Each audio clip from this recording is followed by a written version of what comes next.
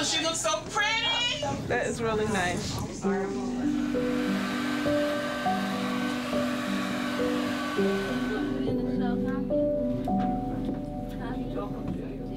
Once you come here, it's a new start. It's called recovery. Wow. Life happens, and you never know what road you may go down. I've been diagnosed with stress and anxieties. Paranoid schizophrenia. Depressed. Bipolar. I am not my diagnosis.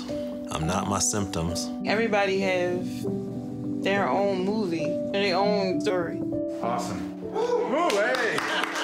So let's think about your story and how you'd like to tell it. I mean, there's all kinds of things we can do. There's drama, You recognize me? You look a lot like me. there's documentary, I'm going to go for what I really like to do, and that's play the flute.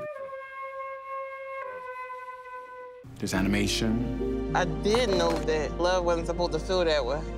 and we'll tie them all together into this one big film. Hollywood Beauty Salon.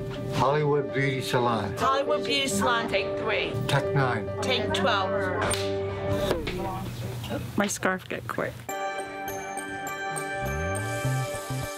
You like that one? Yeah, to make me look different.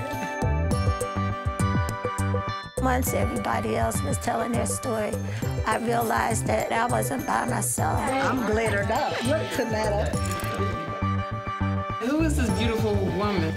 Who is this beautiful black woman? Look like she could just deal with all the problems in the world.